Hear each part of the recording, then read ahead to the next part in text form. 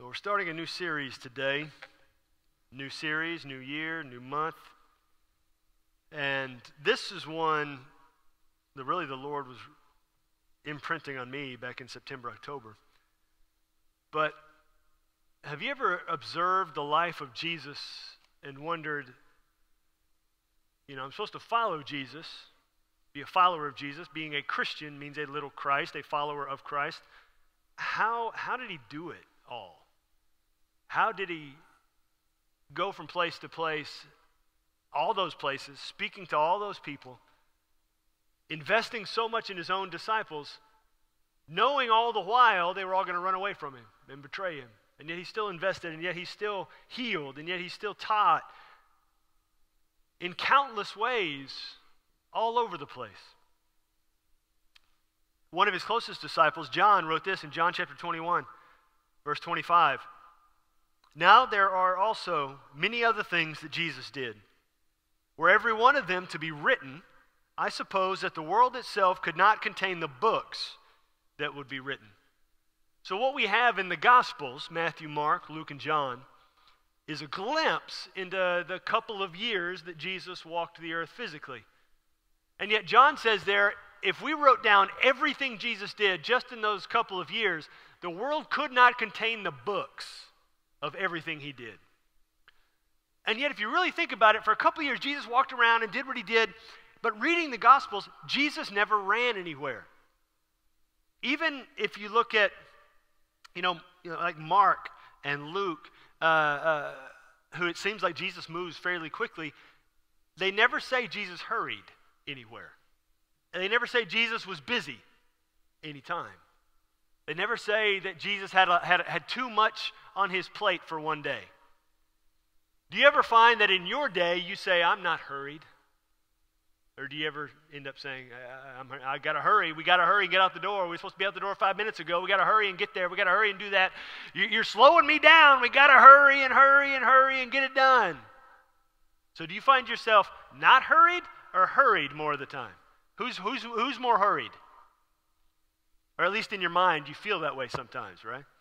You feel the pressure of got to hurry and got to do it and got to be there.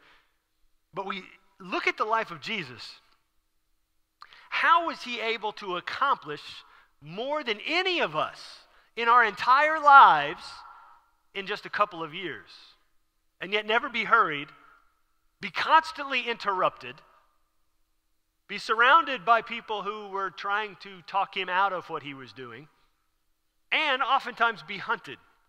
You can say, well, obviously he was God, and so I mean he was able to pull off all of those things. But by coming to this earth and, and, and being human, though he was fully God, being human, he intentionally constrained himself to our time, a 24 hour period in a day, time that he created.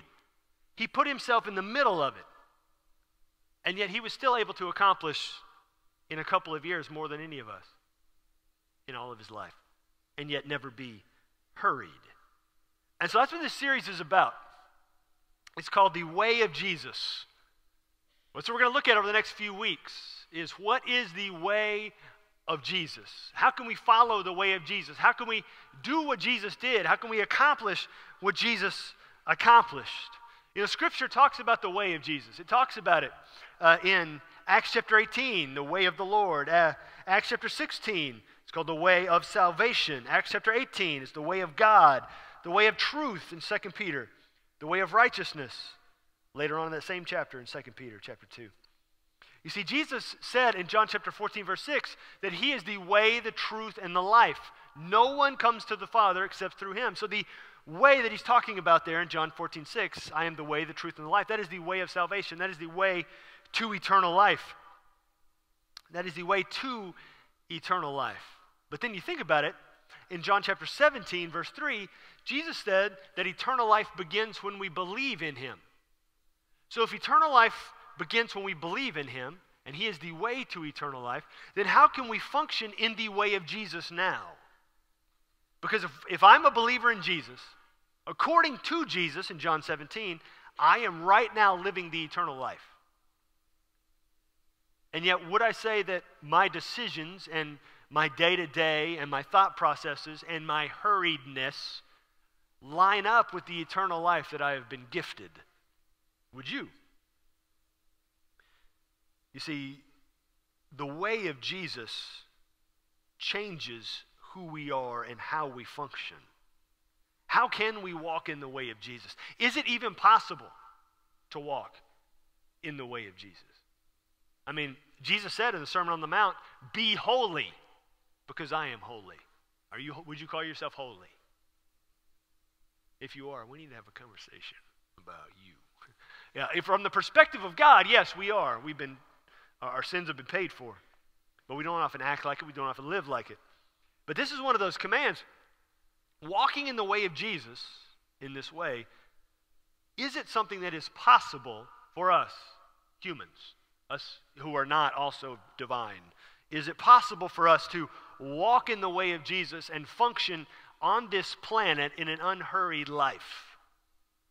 In, in, a, in a way that is steady and purpose filled, and yet can accomplish far more than we think we can when we load up our to do list with 15 things and we're only able to do two of them. Can we still be who God designed us to be in the midst of that? There was a guy, a pastor up in the Pacific Northwest, um, who wrote a book called The Ruthless Elimination of Hurry. It's a great phrase. He, he, he, he asked his mentor one time, How can I function? How can I accomplish something? And that's something his mentor told him. You have to ruthlessly eliminate hurry. That's the only way you're going to survive. Ruthlessly eliminate hurry. And so I have to understand that I'm going to try to accomplish what Jesus has for me. I'm going to try to live the way of Jesus. But you have to understand, I'm still trying to figure this out. I haven't mastered this process at all. So I'm working it out as I'm teaching it to y'all right now. Uh, and over the next few weeks, we're, we're, we're trying, we're going to walk through this deal together. You know, actually, I mean, as a church, going through this Daniel fast, I mean, Jesus himself fasted. So following the way of Jesus is building in spiritual disciplines similar to that as well. And we're going to do our best to come out better on the other end. So the way of Jesus, what will the way of Jesus bring about in our lives? Now, this way that the Lord has for us isn't really a new idea, a new concept. It's actually introduced back, uh, you know, long past, all the way back in the book of Genesis when God creates the Sabbath. But then the prophet Jeremiah speaks of it as well. Jeremiah chapter 6 says, Thus says the Lord, ask where the good way is and walk in it and find rest for your souls. So look at that. There, he says, Stand by the roads, look, and ask for the ancient paths. Ask where the good way is and walk in it, and you will find rest for your souls. You will find soul rest when you walk in the way, the good way, when you walk in it. There's lots of ways we can walk in, there's lots of options we can do, lots of decisions we can make that may not be the good way that may not be the way of Jesus, but we choose them often anyway. But only in this good way, we see there that God says there in Jeremiah chapter 6, only in the good way will we find rest for our soul. Soul rest. Soul rest. You know, living in this world is often burdensome and anxiety inducing, painful, and heavy sometimes. But Jesus offers us a better way to live through it. And the words here in Jeremiah chapter 6 are very similar to the words Jesus uses in Matthew chapter 11. That's where we're going to spend the rest of our time. Matthew chapter 11, starting in verse 28. It's almost identical language to what God used there in Jeremiah chapter 6. Jesus says this Come to me, all who labor and are heavy laden, and I will give you rest. Take my yoke upon you and learn from me, for I am gentle and lowly in heart, and you will find rest for your souls, soul rest. For my yoke is easy and my burden is light. Now, we've heard that passage before if you've been in church for very long. Maybe if you haven't even been in church ever, you've heard that You know, my yoke is easy, my burden is light. Come to me, all who labor and are heavy laden. You see, this is following the way of Jesus. This is what the way of Jesus is. Come to Jesus and experience this soul rest. The way of Jesus is really, it's a lifestyle change. It's a lifestyle change, a lifestyle decision. Because what we see there, the soul rest, I mean, life with Jesus, walking in the way of Jesus, life with Jesus is rest filled, is restful, is restful. It's filled with soul rest. But then, how is it if life with Jesus is restful, soul restful, how is it then that me, as a believer, I have Jesus, but my soul isn't often at rest? Do y'all ever find your soul's not at rest? You ever find that? Maybe it's your mind that's not at rest. Maybe it's your heart's not at rest. Maybe you're constantly thinking about something, constantly anxious about something, constantly scrolling through your news feed and it gets your blood pressure up, or you got financial things or health things or political things or you know world event things going on, and it just you, you can't be at peace. But what Jesus says there in that passage Come to me, and I will give you rest. If you take my yoke upon you and learn from me, you will find rest for your souls. For my yoke is easy, my burden is light. So, how, how is it then that I have Jesus but not rest? Maybe it's when I find myself feeling anxious and find myself in worry and find myself in these runaway thoughts, maybe it's that I'm not looking to Jesus. I'm not coming to Jesus. Rather, I'm coming to myself and my own perception of my situation and my reality and my experience and circumstance. See, lack of soul rest that God spoke about in Jeremiah, that Jesus spoke about in Matthew 11, that God introduced by creating the Sabbath. Lack of soul rest comes from a lack of trust. It really comes from the, doing the opposite of what Jesus said there, Matthew 11, 28. Come to me. When we don't come to Jesus, we don't find rest. We might be able to find a cheap imitation of rest, but it's not soul rest. A lack of soul rest comes from not coming to Jesus. A lack of soul rest comes from not coming to Jesus. Soul rest comes from following the way of Jesus and learning from him, his way of life, as he says there in that passage. Take my yoke upon you and learn from me. Learn from me.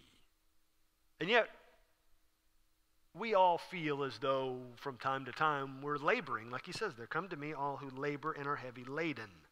We feel like we're laden down with heavy things. If not all the time, at least periodically, we feel this, this weight in the depths of our spirit sometimes. And, and we can't shake it.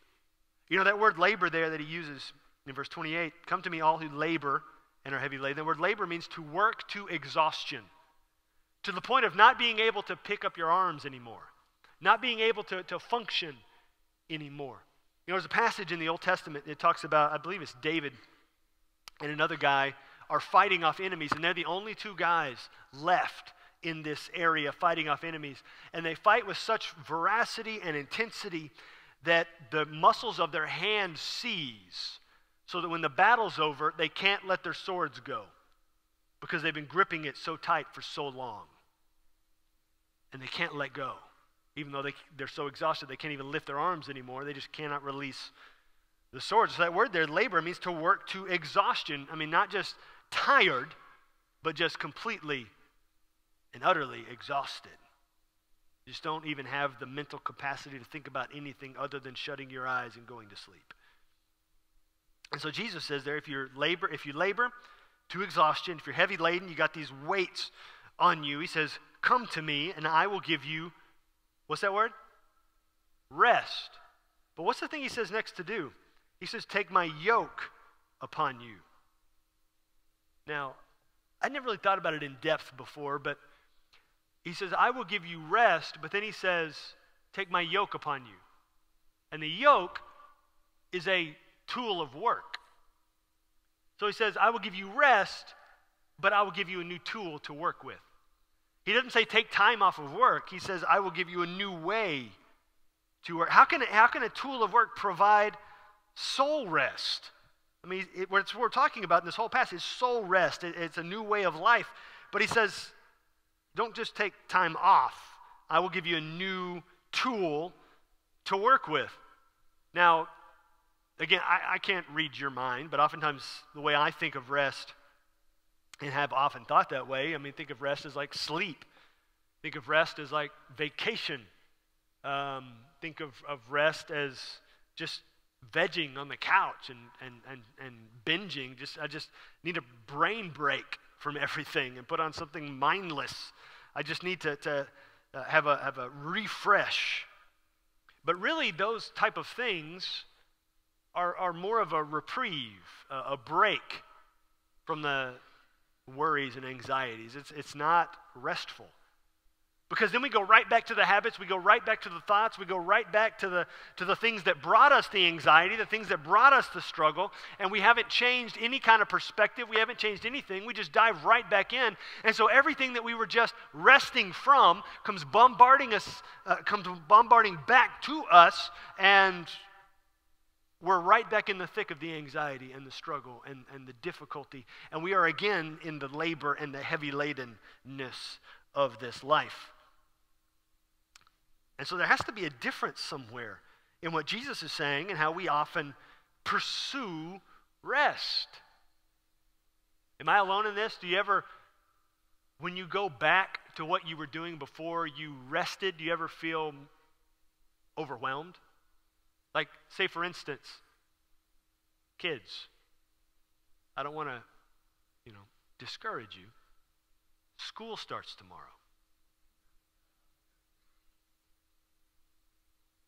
Parents, do you think when the kids get home tomorrow afternoon, evening, they're going to be pretty tired? Jumping right back in the deep end after having two weeks of easygoing, fun, experience. I mean, I asked every kid in the room that I shook a hand with this morning, you ready for school to, to start back? Only two of them did say yes. And some of you parents are like, what? Ask me afterwards. I'll tell you if it was your kid or not. Now, two of them did say yes, but it, it, it's like a, or when you go back to work after, you know, taking time off, vacation. You take your kids, it's not a vacation, but you're taking some time off. I mean, it's like getting, you just like a slog. Like, oh, I just can't get back in the groove here. Because it's, it's recreating the same thing that we were trying to unload before. And so, what Jesus is trying to introduce is an entirely new paradigm, an entirely new concept. Maybe this idea of rest isn't simply sitting still and doing nothing. Maybe soul rest can be had in the midst of overwhelming schedules. Maybe soul rest can still be had when life is nonstop. Maybe soul rest can still be had when, a, when the anxieties of this world and your particular circumstance would buckle you at the knees in any other way. Maybe soul rest can still be had in the middle of all that stuff. But how? I mean, he says, take my yoke upon you. And so the implication there is, is that we're trying to function in this life outside of Jesus. We may have Jesus, we believe in Jesus, but when he says, Come to me and take my yoke, that means we're trying to do it under our own strength. We're trying to do it under our own yoke. The, the yoke, you know, the, the piece of wood that connects two animals as they plow the field. We're trying to do it under our own strength. the, the idea is we have built our own yoke and have our own method to plow the field. We have devised our own way to accomplish this. Maybe we've done it year after year after year, and so we feel like we've got, you know, some some semblance of, of a routine, and uh, we, we, have almost got muscle memory and rote in how we accomplish this. But Jesus is telling us, yeah, you're doing it all wrong.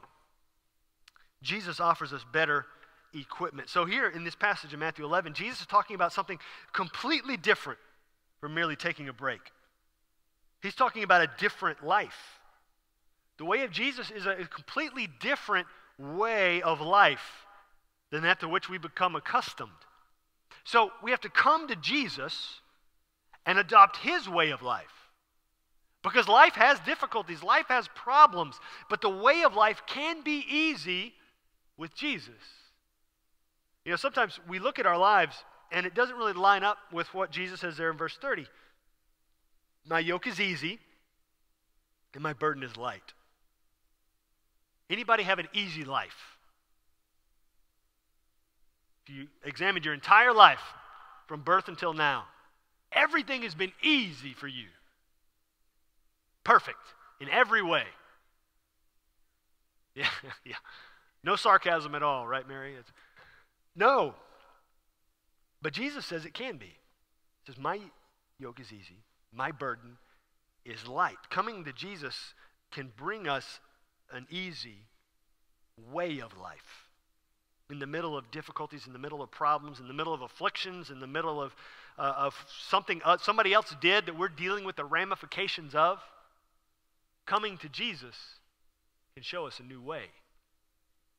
2 Corinthians chapter 4, Paul says it like this We are afflicted in every way, but not crushed, perplexed, but not driven to despair, persecuted, but not forsaken, struck down, but not destroyed. So even though we get hit, even though we get struck down, even though we get persecuted, we're not alone. We're not destroyed. We're still moving forward. In the middle of experiencing all those difficulties and, and as Paul says, afflictions and crushings, we don't have despair because we have Jesus. We don't have destruction because we have Jesus. We have taken his yoke, and the idea, remember, I told you earlier what the yoke is. It, it, it's a piece of equipment that connects some animals so you can do the plowing. He says, Take my yoke upon you. And so the idea is you are attached to Jesus, plowing the field of your life for him to sow the seeds of his word in you. You're not plowing alone when you're yoked to Jesus, not even in pieces. When you're attached to Jesus, he's plowing with you. Sometimes He's pulling you the whole way, but He's going to be with you and never leave you alone. Take His yoke upon you and learn from Him. But it begins with coming to Jesus.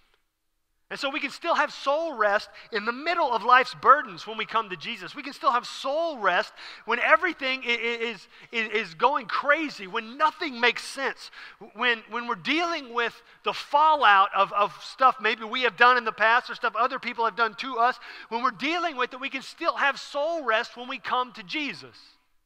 When we don't come to ourselves, we, when we don't come to somebody else and get their opinion without getting Jesus' opinion first, when, when we uh, absorb what the world has told us, what, what our experience tells us, what, how the, the, the habits of our lives tell us to do certain things, rather, we should come to Jesus and allow Him to guide us through the process.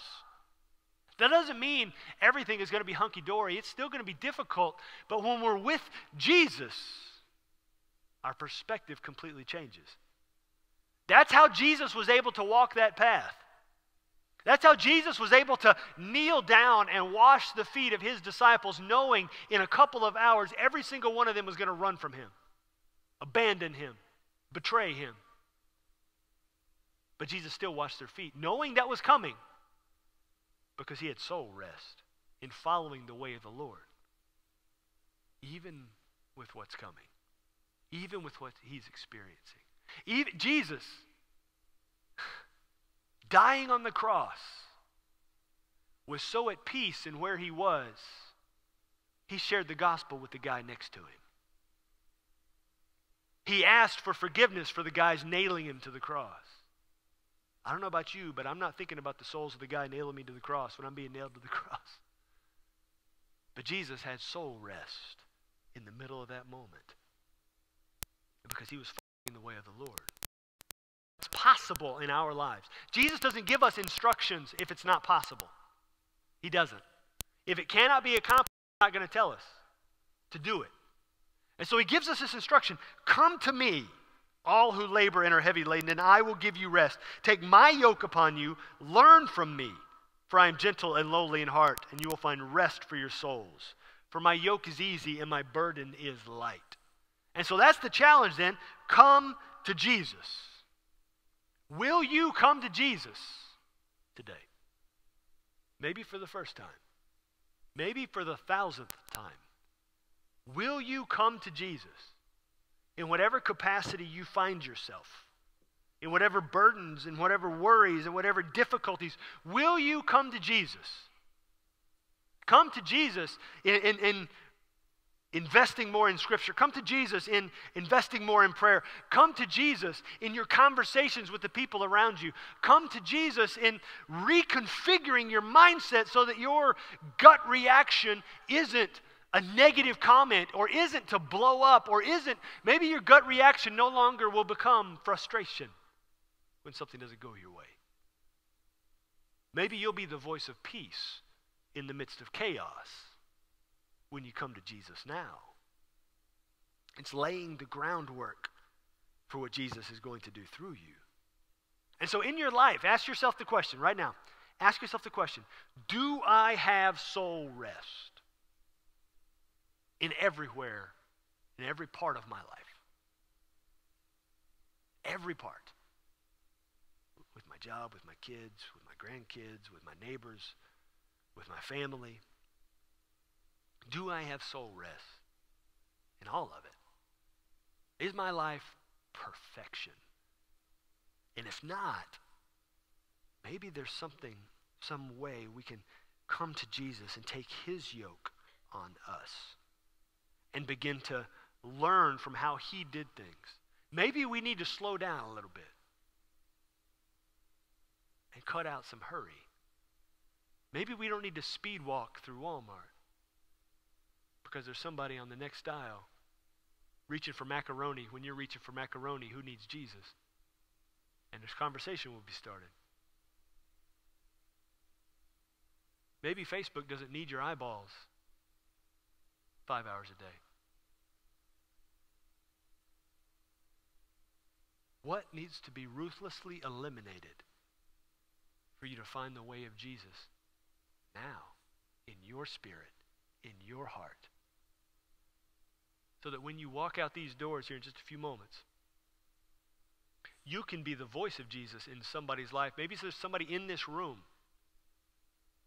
that Jesus put you here today to have an interaction with, and you didn't even know it. Somebody you've never actually talked to before. But there's one comment that you're going to mention to them that will carry them this week. Because you're walking in the way of Jesus. Walking in the way of Jesus. Because when you walk in the way of Jesus, you will be afflicted in every way, but not crushed, perplexed, but not driven to despair, persecuted, but not forsaken. You'll be struck down, but not destroyed. Do you want soul rest? Will you follow the way of Jesus and learn from him in everything he does, every interaction he has? And then, quite possibly, maybe your life will mirror his. And the world wouldn't be able to contain the books because of all you were able to accomplish as you followed the way of Jesus. Y'all pray with me.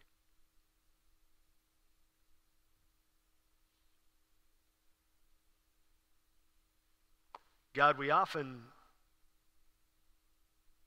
take our own advice before we take yours. Listen to ourselves before listening to your word. We follow our own way and our own plan and our own determinations.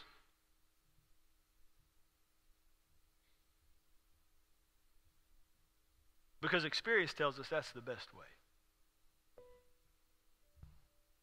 And yet we find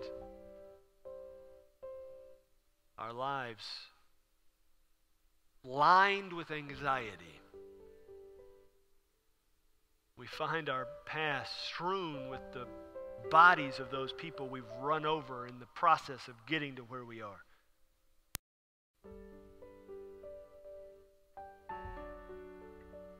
Help us to be in the moment,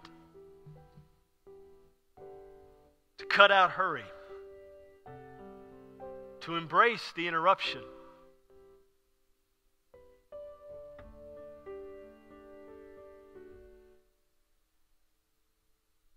To walk with you, to breathe with you. God, I pray that we would find soul rest in this life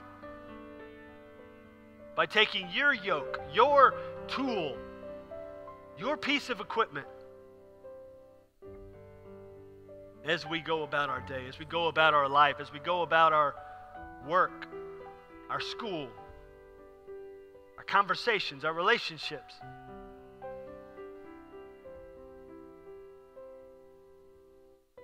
We would embrace the way of Jesus.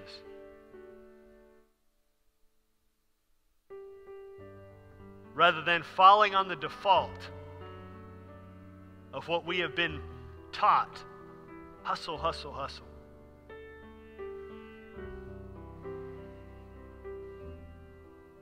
God, help us to be your voice in the lives of those people around us, your influence in their lives.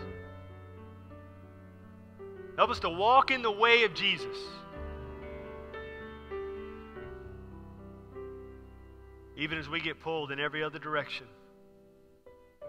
and our mind gets lost in chasing after the white rabbit because we often feel we're late, we're late for a very important date when we just need to be present.